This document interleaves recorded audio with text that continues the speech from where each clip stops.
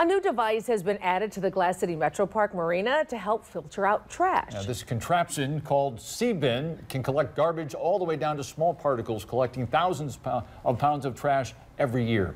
13 Action News reporter Megan Daniels takes us there in this week's Metro Parks Meetup. Keep Toledo, Lucas County Beautiful, and Toledo Metro Parks have teamed up to remove more waste from our waterways than ever.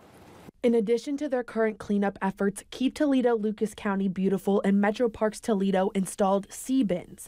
They work similarly to a pool filter. Using a light suction, they pull in small and medium sized debris.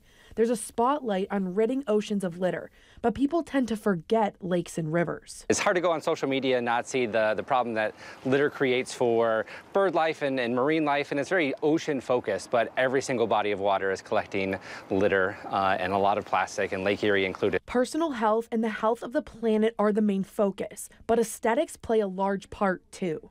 It looks bad. You don't want to go out on the lake when it's full of litter. So we want tourism and we want people to enjoy the resources that we have. Because the marina is heavily traveled, trash tends to accumulate, being pushed into other areas of the river and building up over time. A lot of people are here.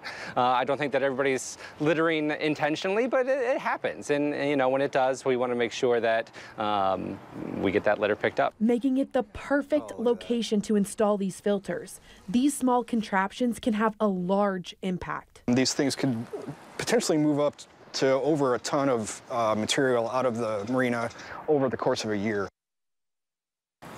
And these two filters are just the beginning. Both organizations are working to secure a grant to add more filters to help our waterways stay clear.